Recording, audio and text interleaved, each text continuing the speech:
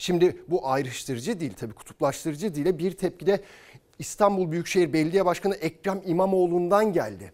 Ekrem İmamoğlu Erdoğan'ın sözlerine yanıt verdi ve dedi ki bugün birlik günü konuşma farklı bir dille olmalıydı. Sel afeti yaşadık değil mi İstanbul'da?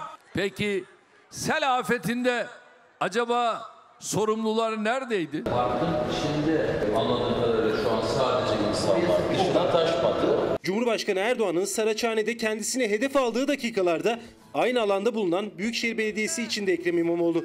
Erdoğan ve Bahçeli'nin katıldığı programda Saraçhane Meydanı'nın dolmamasına dikkat çekti. Ben tabii Saraçhane deyince tabii bu önümüze Hatta şu ekranı görünce buraya doğru. Şimdi de muhtemelen şu yamaca doğru orada. kuruldu ama öyle bir kalabalık olmadı. 6. yılında 15 Temmuz Demokrasi ve Milli Birlik Günü için İstanbul Büyükşehir Belediyesi'nin de bulunduğu Saraçhane Meydanı'nı seçti Cumhurbaşkanlığı.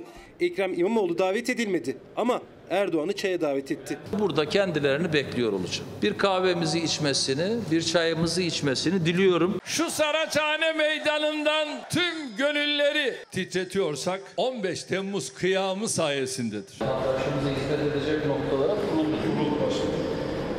burada var, karşıda var. Cumhurbaşkanı kürsüdeyken İmamoğlu da belediye binasındaydı. Mitinge gelen vatandaşlara ikramda bulunması için kurulan belediyeye ait mobil büfelerle ilgili bilgi aldı. Parkın içinde anladığım kadarıyla sadece insan var. Dışına taş batı.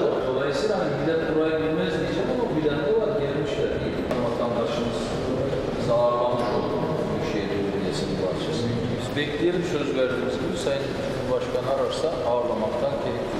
Cumhur İttifakı ortaklarının katıldığı 15 Temmuz programındaki kalabalığın Saraçhane Parkı ile sınırlı kalmasına şaşırdı İmamoğlu. Erdoğan'ın belediyeyi ziyaret etme ihtimaline karşı makamında bekledi ama o ziyaret gerçekleşmedi. Saldırıya uğramış noktalardan biri şehitlerimiz var burada, gazilerimiz var burada. Buraya gelmesini arzu ederdim ama kendi takdirleri böyleymiş. Saygı duyuyoruz. Peki sel afetinde acaba sorumlular neredeydi? Kardeşlerim bunların hesabını 2023'te sandıklarda sormaya var mıyız? Açıkçası bugünkü konuşma farklı bir dille olmalıydı. Bugün Milli Birlik Günü. Anladık ki hala e, bu kürsüler 15 Temmuz'da olsa birileri için Cumhur İttifakı günü. İmamoğlu, Cumhurbaşkanı'nın çay davetine icabet etmemesine saygı duyuyorum dedi. Ama hem Millet İttifakı liderlerini hem de kendisine hedef alan sözlerine tepki gösterdi.